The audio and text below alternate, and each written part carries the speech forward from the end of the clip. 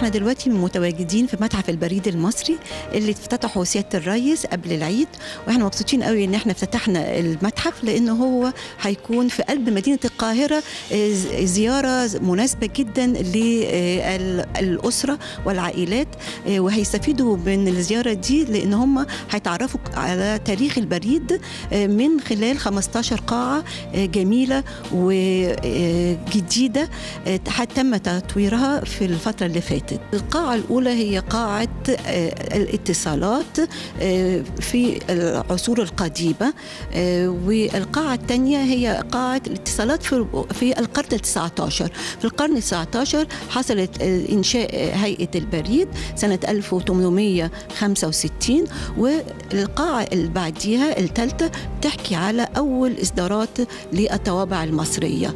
القاعة الرابعة بتحكي على صناديق البريد. يعني بعد ما بقى عندنا طوابع بتتلزق على الخطابات.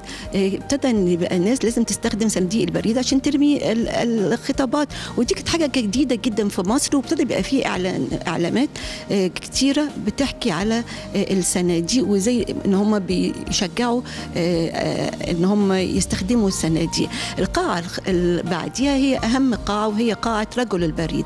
وإحنا بنسرد قصة رجل البريد. رجل البريد بيعمل إيه؟ غير إن هو بياخد ال- ال- الخطابات وبيختمها وبيوزنها وبيوصلها لجهاتها لكن هو كان برضو بيلعب دور أساسي مش بس في خطابات عادية لكن كمان في أذون خزانة يعني فلوس وحاجات زي كده. بعدين بنحكي على تصنيفات الطوابع تصنيفات الطوابع معناها إن مش كل الطوابع زي بعض. في في طوابع بريد جوي في طوابع بريد عادي في طوابع بريد تذكارية اللي هي بتصدر لما يكون في يعني مناسبة خاصة زي مثلا إنشاء مثلا مؤسسة جديدة أو زواج ملكي أو كده. في قاعات بقى بتحكي على طرق المواصلات إزاي كان البريد بيوصل لجهته؟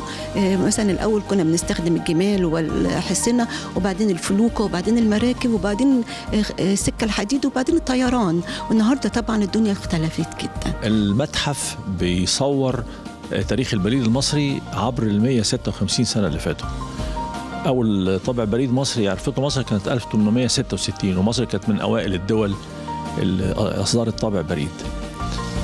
المتحف فيه مقتنيات يعني تعتبر قيمة أثرية عالية جدا وفيها حاجات نوادر مش موجودة في أي مكان. طوابع البريد واللي هيخش المتحف سواء شخص هاوي بريد أو شخص عادي هيشوف تطور البريد من أول طابع لغاية النهاردة.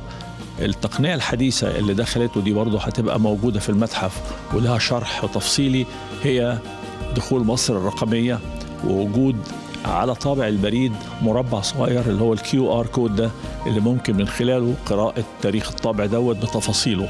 لمن لا يعلم بنتهز الفرصة إن أنا بقول دي دعوة للمدارس إن تفكر إن تعمل جولات إلى زيارة المتحف. لأنه بمنتهى البساطة الطالب من دول أو الطالبة من دول هيخش هنا يقرأ من طوابع البريد يعرف تاريخ الأمة المصرية. الطوابع البريد هي ذاكرة الأمة المصرية. Thank you.